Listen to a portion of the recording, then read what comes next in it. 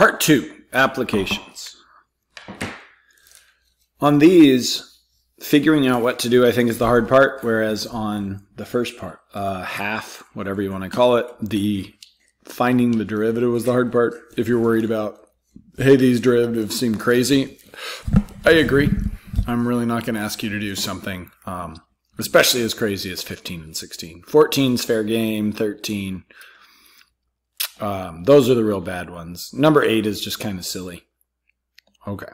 So hopefully you're ready with those you could dissect. So we need to be able to find the equation for the tangent and normal lines uh, to the graph where x equals pi over 6. Um, I suppose first, maybe we should do, we're going to need a y value.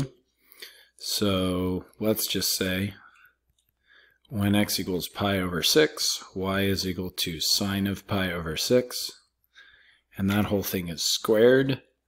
Let's see, sine of pi over 6 is root 3 over 2. Oh, no, it's not. Sine.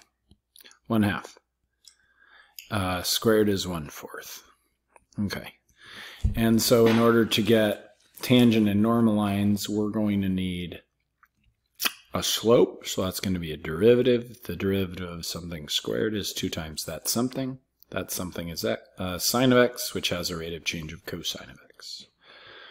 So, by the way, we could change this to sine of 2x. Heck, maybe I'll do both, just so you know.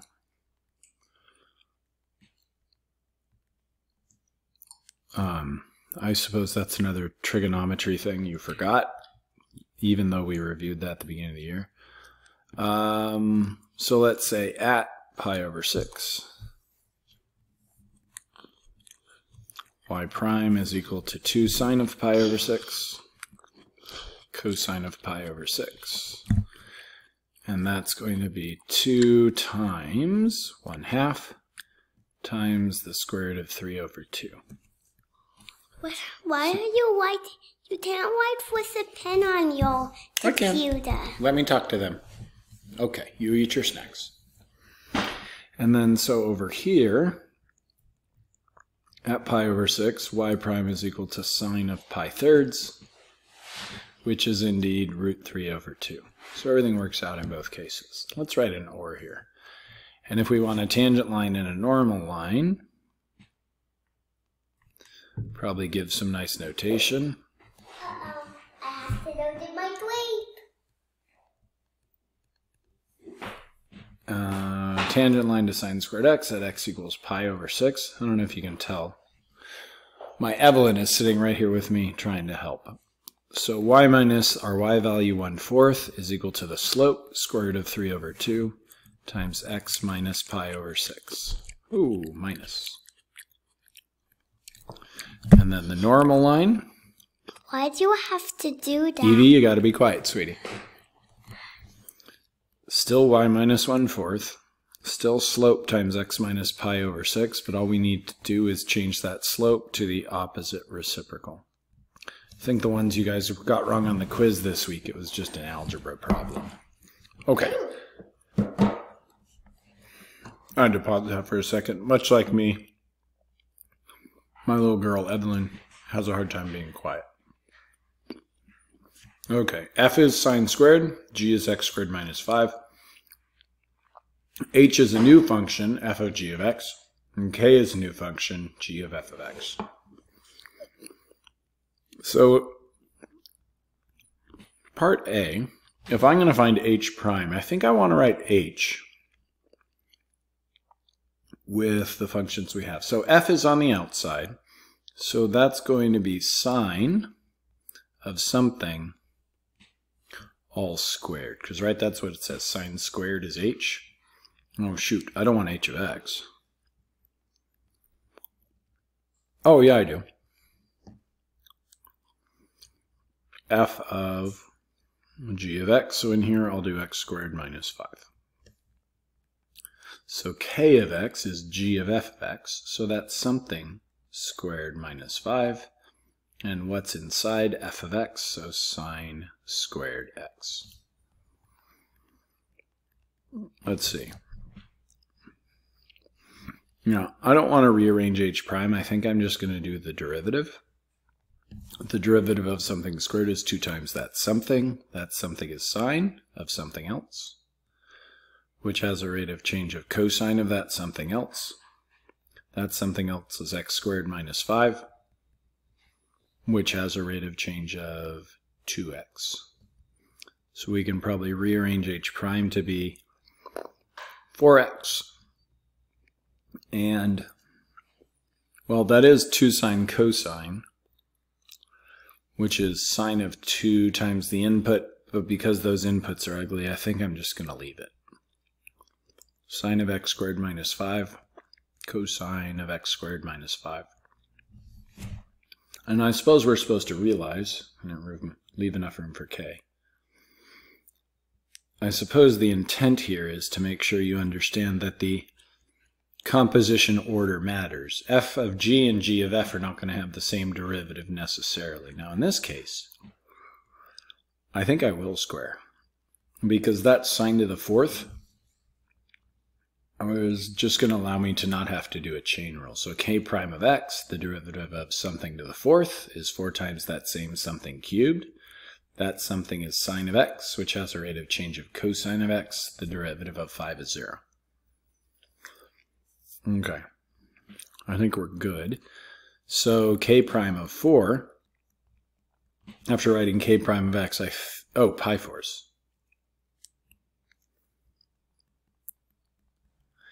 And that's going to be 4 sine of pi fourths. And we're cubing that sine times cosine of pi fourths. I'm relatively certain this is one trig value most of my students know. So sine of pi fourths and cosine of pi fourths are both square root of 2 over 2.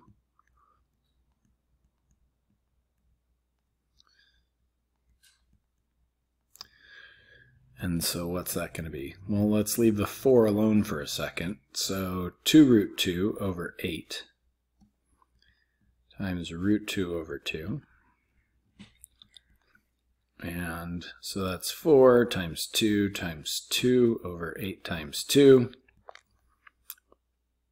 Is that just 1? What a waste of time.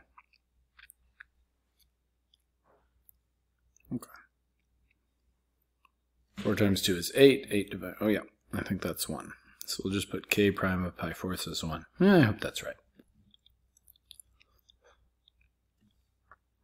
Okay, f of x is the absolute value of sine of x, g of x is x squared on negative 2 pi to 2 pi. Okay, so what does f look like without a calculator? Well, let's think of sine of x.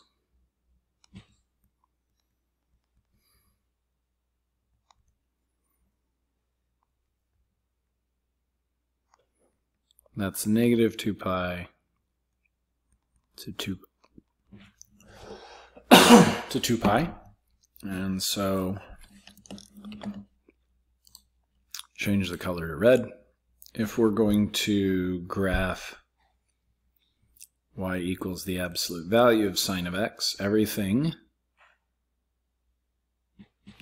that's positive stays positive. So that's 2 pi. We might as well put in pi, negative pi. And there we go.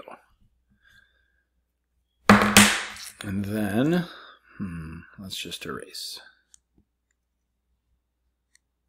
Oh, looks like we did that from the beginning. Okay. So there we go. Okay. Back to blue. I like writing in blue. Okay. So k is f of g of x. Let's see, k of x is f which is the absolute value of sine of something. And that something is x squared. Okay?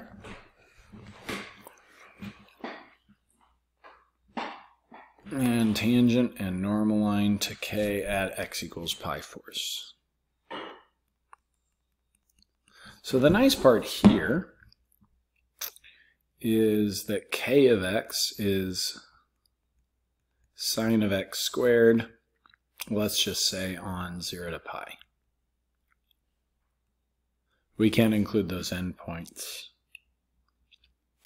k isn't differentiable at 0 or pi because of those corners. But we can just drop the absolute value and not really worry about it because pi fourths is on a nice differentiable part and everything's positive, which matches up with um, sine of x.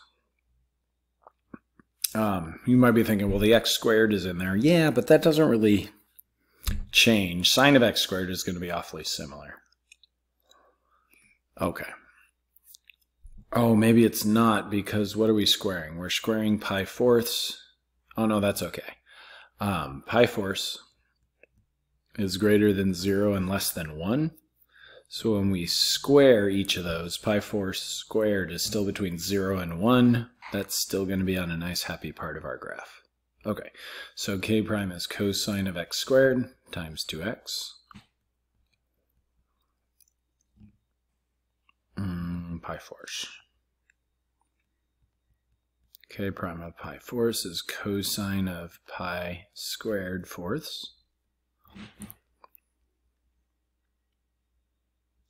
Yeah, I'm just pausing for a second because I'm realizing things aren't going to work out. The first part says without a calculator. This really feels like it's a calculator problem, but maybe not.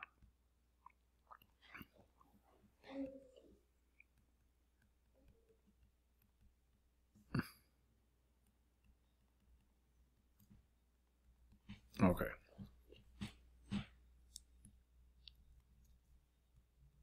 Let's see. That's not 0 pi. I got a little bit confused. What are we going to do here?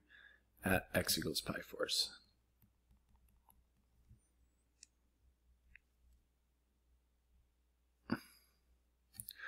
Okay, so let's see.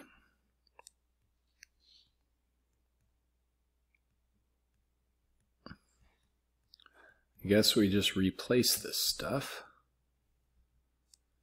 And then that's pi halves. This whole thing is our slope. So times x minus pi fourths, and let's see. k of x is sine of x squared, so this is just going to be sine of pi squared fourths as the y value. Yeah.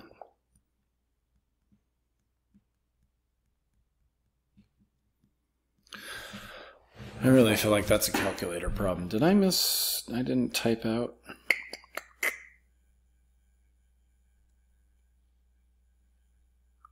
Yeah. Oh well, don't really have to worry about that. Okay. So I told people in some of the classes, hey, you should be able to figure this out. And I'm not going to tell you much because I want you to think through it. But I mean, a big hint is, you know, you have three line segments here.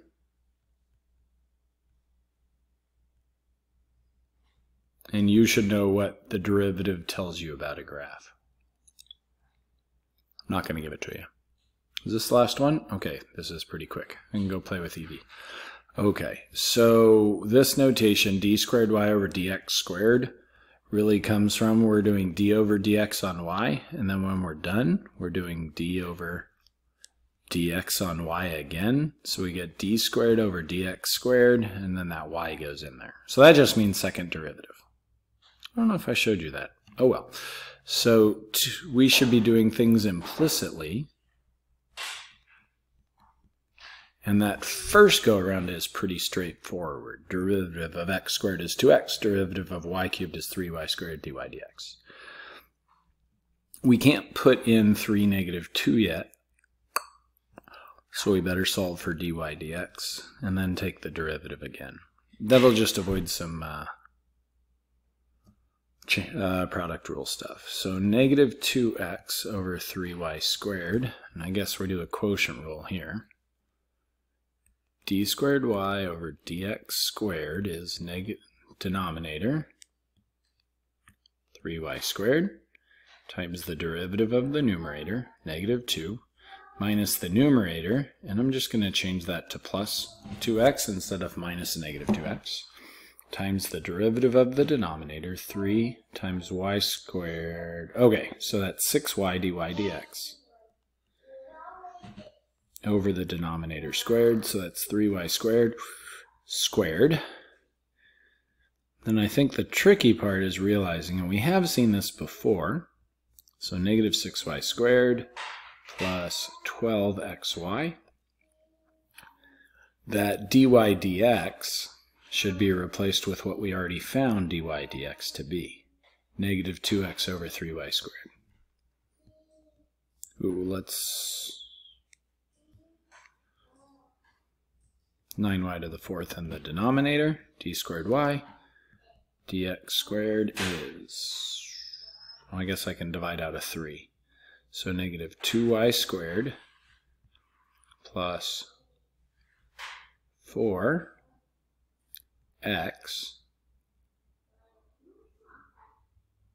Hmm. Maybe I shouldn't divide out the 3 let's leave that for a second. So it is going to be 4xy here.